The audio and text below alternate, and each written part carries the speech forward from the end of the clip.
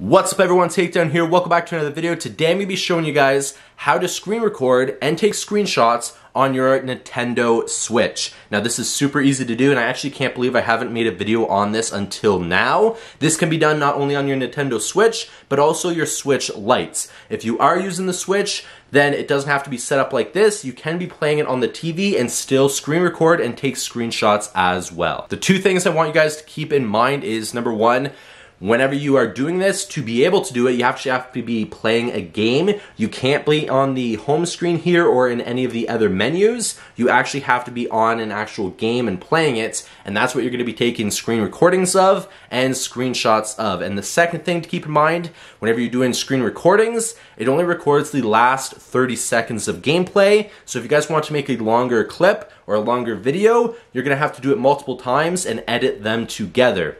Now there is a workaround for the Switch, not the Switch Lites, for that to make longer videos, and I'll explain that at the end of this video. So first, let me show you guys how to take a screenshot on your Nintendo Switch.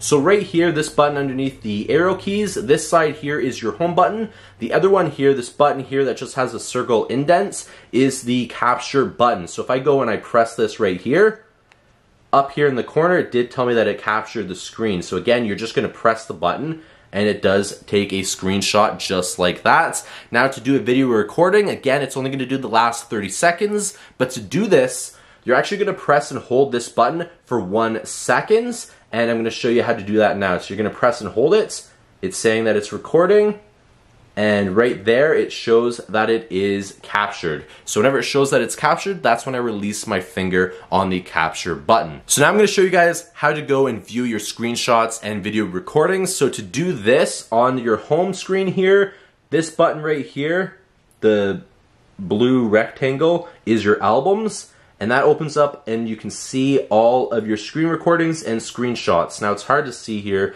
The first one here actually has a 30S in the bottom corner here. That is a video that is 30 seconds that is recorded. That's how you can tell the difference between videos and the screenshots is if it has the 30S, it's a video. If it has nothing and it's just the screenshots, then that is it. It's just a screenshot. Now there actually is a way to record longer videos for your Nintendo Switch, but it's actually not done on the Nintendo Switch. What you're gonna need to purchase is a capturing device. And with that, you can only use it with the Nintendo Switch, not the Switch Lite, because you do need access to HDMI ports, which is not on the Switch Lite, only on the docking station for the Nintendo Switch. Now in theory, how you're gonna set it up is there's gonna be the HDMI cable going from your docking station to the capture device, and then another HDMI cable from the capture device to your TV. So instead of your docking station going an HDMI cable from the docking station to the TV, there is the capture device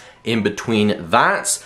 And with that, you can either connect that to your computer and record that way, or you can actually plug in a flash drive or other uh, video saving uh, forms and be able to record and save it to the flash drive to use later and it will stream that way. Now that's not something that I have nor need, but that is a way that you guys can record longer videos, but you do need a capture device. And to me, it's a little bit more of a headache, but if you guys want longer videos and you don't want to edit them together, that is also an option for you. So I hope you guys enjoyed this video and now you guys know how to screen record and take screenshots on your Nintendo Switch. Again, not only the Nintendo Switch, but also the Switch Lites. And it doesn't have to be set up like this. You can actually use controllers and be playing on the TV and simply hit that button or press and hold it and it will take a screenshot for you or video recording. So I hope you guys enjoyed this video. I'll see you guys in the next one. Please take care. Peace.